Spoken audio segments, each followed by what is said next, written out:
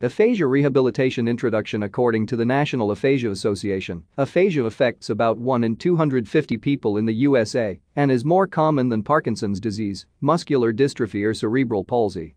Considering the importance of communication in all aspects of life, getting help for a communication disorder is critical. Aphasia is an acquired disorder that usually occurs as a result of a stroke or other form of brain injury in general terms it manifests itself in either an inability to produce or comprehend speech. The following article will outline the forms of therapy currently used today, as well as discussing their efficacy for different types of aphasia. Historical glimpses aphasia rehabilitation therapy really became popular after World War II as a result of the large number of veterans returning home with brain injuries. Initially the strategy was impairment-based treatment. This involved treating the actual physical symptoms, meaning that they focused on trying to get the patient to speak again as much as possible. This type of therapy is most effective if done in intensive one-on-one sessions. Later, as the number of patients increased and the number of therapists decreased the focus switched to providing consequences-based treatment. This method of treatment recognizes the significant effects of aphasia on a person's life and teaches patients coping mechanisms to deal with these issues. This could be done in groups and required fewer therapists. Today speech-language therapists have recognized the need for both the impairment-based and the consequences-based treatments. The focus today today the approach towards aphasia rehabilitation is strongly influenced by the World Health Organization's International Classification of Functioning, Disabilities and Health. Figure 1 is a simplified version of the ICF, similar to that seen in the book Aphasia Rehabilitation The Impairment and Its Consequences by Martin, Thompson and Worrall. In general terms, this figure shows us how the effects of a given disability such as aphasia can be broken down into effects on the body, effects on participation in day-to-day activities, and effects on the internal moral of the patient. Another external influence on aphasia rehabilitation today is the disability movement, which works towards promoting the acceptance of disabilities in society. The LPAA project group's life participation approach to aphasia that was released in 2001 says that the primary focus of aphasia management should be life enhancement. Since those people with aphasia need to interact with their environment, it is important to not only work with the patient but also with those close to them in order to achieve the best quality of life. Aphasia rehabilitation today focuses on addressing these different areas and creating individual approaches based on personal goals. Before beginning their treatment, patients are assessed using standardized tests, such as the Western Aphasia Battery, in order to determine the physical extent of their aphasia. The Western Aphasia Battery is a series of tests used to gauge the severity and extent of aphasia in adults. Speech-language pathologists then communicate with the patient to determine what their personal goals are in the rehabilitation process. This is important because if for example the patient was never a great reader before acquiring aphasia, relearning that skill would not be as important him or her compared to someone who previously loved to read. Prognosis and time course for recovery The prognosis for aphasia recovery depends on the individual case, and as with many neurological injuries, early intervention is very important. There are two general phases for the recovery of language. The early phase lines up with the period known as the spontaneous recovery period, which peaks at about one month after the onset of aphasia and then flattens out to a plateau 6 to 12 months post-onset. This is the period where maximum language recovery occurs and is why early intervention is so crucial. The long-term recovery phase continues for the rest of the patient's life, although the degree of recovery varies greatly between patients, with some getting better and others worse. Pedersen et al found that the degree of severity of the initial aphasia was directly related to the time course of recovery. Specifically they found that 95% of patients with severe aphasia had recovered maximum function in 10 weeks, while those with mild aphasia reached that point in only 2 weeks. Different approaches Social approaches. Conversation therapy The goal of this therapy is to enhance conversational abilities. This means that it focuses on the ability to convey a message as well as the abilities of arguing, joke telling, gossiping and storytelling. The sessions are usually one-on-one and really strive to boost the patient's confidence.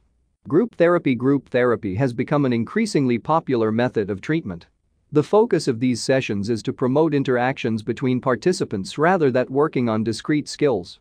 Not only do patients get to practice their interactions, but they get to meet other people in their situation. The sessions are monitored by a clinician who directs and promotes conversation. Compensatory strategies training The goal of this approach to aphasia intervention is to teach patients alternate methods of expressing themselves in real-world settings. These include gestures, writing and the use of augmentative aids. It is again important with this approach that the family and friends are involved in the sessions so that everyone learns to be familiar with the strategies. Schuell's stimulation approach. This approach falls under the category of a traditional approach because it focuses on the impairment. According to Hildred Schuell, aphasia is a deficit that spans all language modalities. If a patient shows a deficit in one of these modalities, it is a result of an underlying language problem. In this approach it is believed that the auditory system is of crucial importance because of its key role in both the acquisition and ongoing processing of language. Treatment is therefore focused on only the auditory system rather than on each system separately because it is believed that improvements there will spread to the other channels since they are all connected. The approach uses a very controlled repetition of auditory stimuli. Although the emphasis of the method is on the input, it is very important that responses are given. Here are a few examples of the tasks that might appear. Point to task. Which is simply asking the patient to point to a specific object yes no questions. Asking questions like, is Stephen Harper Prime Minister of Canada? Reading tasks. Matching a word or sentence to a picture with this method, it is important not to start with tasks that are too difficult. The starting point should be where the deficits begin to appear. Context-based treatment. This approach to rehabilitation also falls under the impairment-based category and can be very effective for patients with Wernicke's aphasia. This method requires a great deal of flexibility on the part of the clinician because it is all about creating contexts that are applicable to the patient. Because patients with fluent aphasia are often unaware that their speech is being misunderstood or that they misunderstand speech, early intervention is very critical. For this treatment creating an appropriate context is very important, it is best to choose a context that the patient is familiar with so they will be able to anticipate what might be coming next. In a session, context can be established with the clinician's opening question such as, I would like to talk to you about your children, or it can be established with the use of a prop such as a magazine. Once a context is established the clinician begins to ask the patient questions. If the patient needs help, they will manipulate the timing and linguistic stress on certain words. If the patient has difficulty inhibiting their word flow, they are instructed to try and listen to themselves and to stop whenever there is an error in order to promote an awareness of their own mistakes. Because this is a very time-consuming and intensive method of treatment, it is imperative to get the support of the patient's caregivers because these exercises can easily be done at home Cognitive neuropsychological approach This approach draws heavily on the use of models to understand how language processing works and where a particular aphasic patient has deficits. Figure 2 is a schematic representation of the different stages of lexical processing. By looking at this diagram we can see that there are for example multiple routes to get to the phonological output lexicon. Knowing this makes it more clear how a patient can be unable to understand the word apple from written cues and yet be able to read it aloud by sounding it out through the letter-to-sound conversion pathway. There are two basic principles behind cognitive neuropsychology. One is that everyone has the same cognitive processes, and that brain damage does not result in new processes, but merely alters which ones are used for certain tasks at certain levels. Speech-language pathologists using this approach to aphasia rehabilitation must first determine which level of processing shows a deficit and then direct treatment towards improving that area or compensating for it. The following is an example of a cognitive neuropsychological approach to treating a patient with impairments in lexical comprehension. The treatment was performed by Grayson and colleagues in 1997 and published in the European Journal of Disorders of Communication. The level of dysfunction was at the phonological and semantic stages of processing. The first part of the treatment addressed the semantic impairment and involved having the patient perform lexical tasks such as spoken or written word to picture matching. Example? Patient hears. A fruit correct response. Patient points to a picture of an apple over the next few weeks of treatment, they systematically increased the difficulty of the tasks. After four weeks the patient showed improvement in word-to-picture matching tasks, but not in a phoneme discrimination task. However, when an extra four weeks of treatment were done with the addition of a phonological component to the semantic tasks the patient showed improvements in auditory word-to-picture tasks as well as a non-word phoneme discernment task. Computer-based methods with all the advancements in computer technology today it is natural to see them implemented in a variety of clinical settings. With respect to aphasia rehabilitation, they can be implemented in a one of three manners. Either is the sole method of treatment, where the patient does the exercises alone and then has his or her performance reviewed later by a clinician.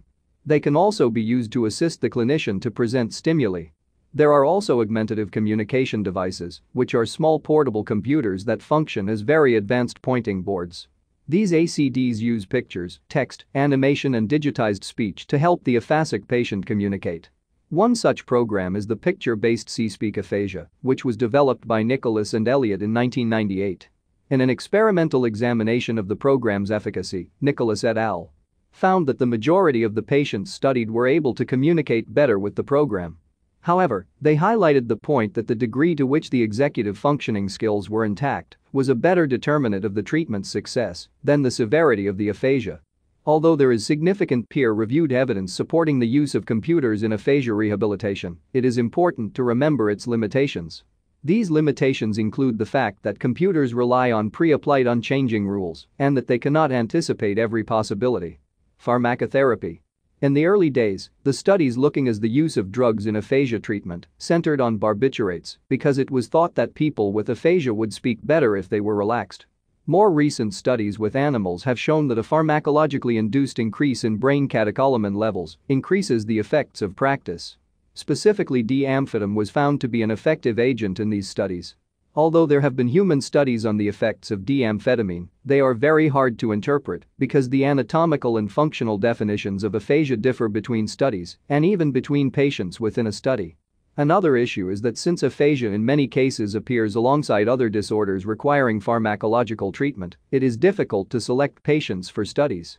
To generalize, pharmacotherapy does not have the potential to replace behavioral or cognitive therapies for aphasia rehabilitation, although it does have the potential to be used alongside these treatments in some capacity. Newest trends constraint-induced language therapy. This method of treatment is very rigorous because it involves removing any coping mechanisms that the patient has developed, such as gestures and pictures, and only allows spoken communication. It essentially operates under the principle of use it or lose it. Sessions are usually intensive, 3 hours a day for 10 days, and implement the use of visual barriers between communication partners to prevent anything but verbal communication. Although this method of treatment has been proven effective, it is not recommended to be done at home because of the frustration it would cause for all parties involved. Book clubs. In 1999 the California Aphasia Clinic started its trademark Book Connection program. The program was started as a result of feedback from aphasic patients who expressed that the loss of the ability to read for pleasure had decreased their quality of life. Because there are so many different degrees to which aphasia can affect a person's ability to read, the Book Connection program uses a series of adaptations to break down a book to help people be able to read.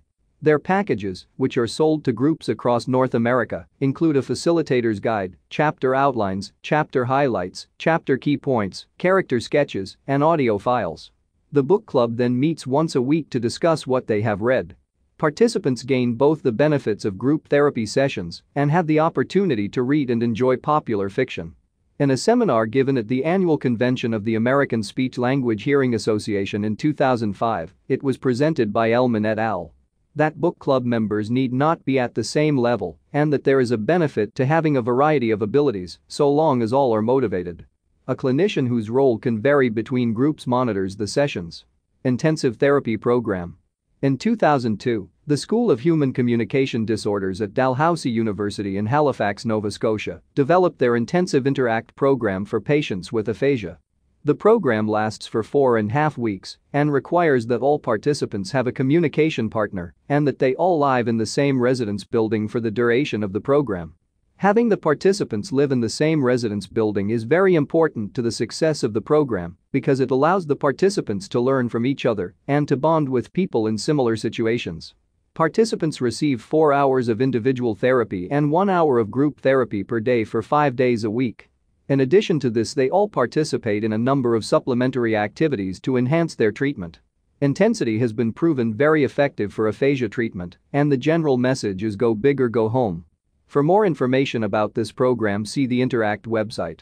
Conclusion What the above article has attempted to do is to give an overview of the history and current treatments of aphasia. It is clear that there is not one great treatment of aphasia that everyone can agree on. This is because every case is different and requires individual attention. However the consensus is that one should not stick to one method of treatment and that both individual and group therapies are important in achieving the goal of a better quality of life.